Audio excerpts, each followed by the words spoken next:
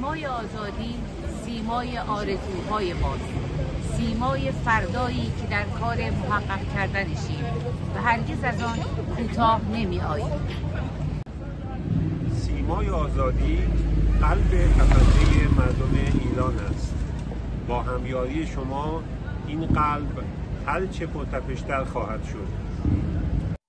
زمستون آخوندی باید بره و بهار آزادی حتما باید که بیاد. برای آوردن بهار به میهن اسیرمون منتظر دستهای بیدریق شما و یاری و همکاری شما با 28 مین همیاری سیمای آزادی هستیم. درود بر شما و درود بر کانونهای شورش. ما یارای همیاری داریم.